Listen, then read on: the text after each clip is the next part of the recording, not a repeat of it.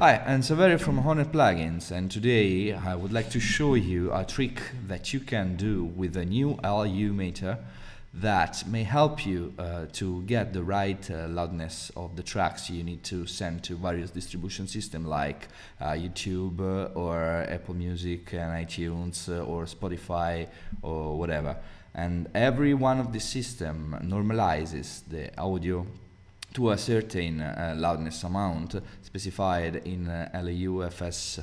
Um, for example, YouTube uh, usually uh, normalizes everything to uh, negative 13 uh, LUFS. So if your tracks um, are going to sound good at on YouTube, they will, you need to listen to them at that level and make sure that you're not compressing too much or or having an issue uh, because you have peaks that are going to clip if you normalize them at that level. Um, with the new LU meter, you can uh, uh, normalize your track to the one of these uh, references and uh, uh, pre-listen if this, the track is going to sound good on those systems. Um, it's a pretty simple and uh, it can be done with a new long-term normalization feature.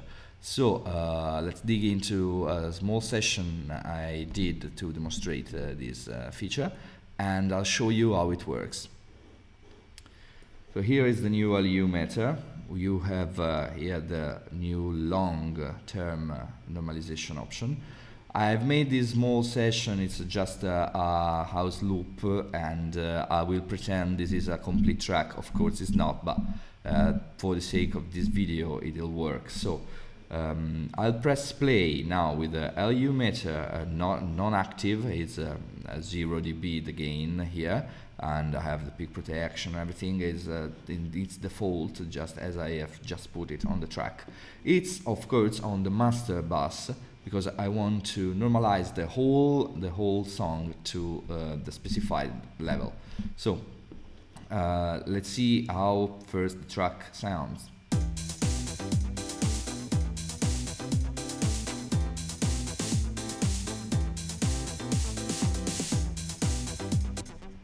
So uh, what we want to do is uh, to set this little thing here to normalize uh, everything to the YouTube level that it's minus 13 dBs. I've put it that in my reference so that when the meter peaks here we are at minus 13. So uh, what I want to do is to disable the max peak protection because I want to allow peaks to clip uh, because I want to know uh, if my peaks are going to clip at this level. So I don't want any kind of protection. And I will normalize to 0 LU so this level here with the long term. Press play now and uh, the gain will adjust to reach this level in average.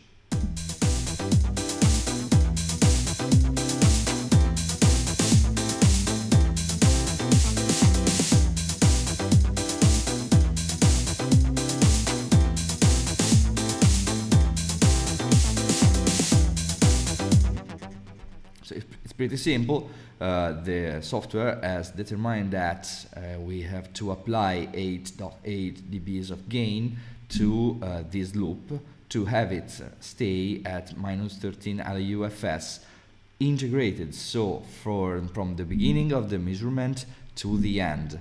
And uh, this is already ready to be exported and ready for the YouTube loudness. If I wanted to target, for instance, iTunes uh, or Apple Music, whatever, for what it matters, I would have to put here 16 and uh, start the um, analysis again.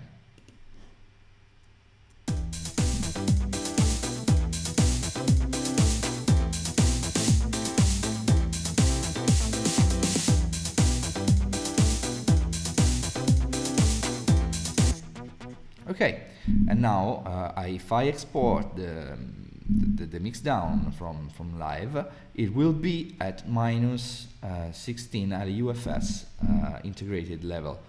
Um, it's, this tool is also useful to uh, listen and to know if the track would sound good at this level. This track is not too squashed, but probably is too much because we are never reaching uh, any level close here. Um, this is because we have probably have compressed or uh, cut off the peaks too much with this plugin or other limiter in the mix. And uh, we are sacrificing uh, the dynamic range of the track for more loudness. But this uh, may have a different impact on different platforms. So you have to judge if uh, this is good for what you're doing, for what you want to achieve or not. And that's it. It's pretty easy. Uh, for regarding the references I've used here, I found them on the internet. You just have to search for them, searching uh, LFUFS uh, reference levels or YouTube levels or uh, something like that. You will come out with uh, different results and a handful tables that shows you the differences between services. So. Um, LU Meter is available on hornetplugins.com and you can download it uh, from our website. There is no demo for this plugin, but we offer a 100% money back guarantee if you don't like it. So you feel free to try it out and uh, let us know uh, if you have suggestions or other questions. Feel free to write us.